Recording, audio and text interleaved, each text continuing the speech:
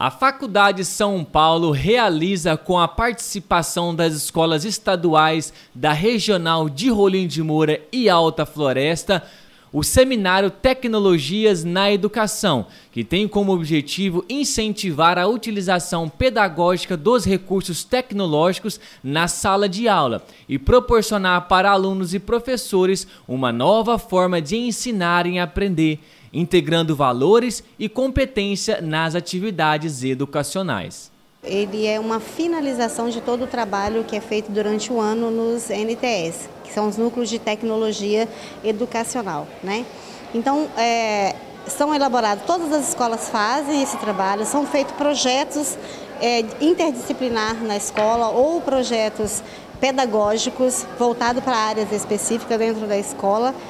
E dentre os projetos é feita análise e escolhido os projetos que se destacaram. Esse ano foram 12 projetos, foram seis projetos de ensino fundamental e seis projetos de ensino médio.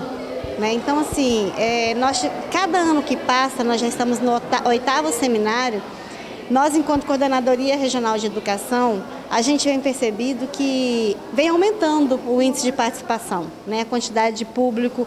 Hoje mesmo nós tivemos uma média de 600 pessoas entre professores, alunos e diretores. Né?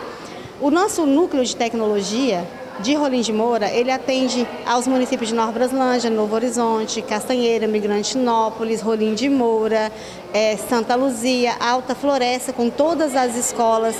Nós somos em duas regionais no qual o nosso núcleo de tecnologia atende. Né? Então, a finalidade desse seminário é esse, é a finalização dos projetos pedagógicos que é trabalhado dentro da escola e que pode utilizar as mídias, a tecnologia, o computador, o celular, entre outras situações que acontecem dentro da escola. Né? Apresentar o que o aluno fez e como foi utilizado essas mídias dentro da escola.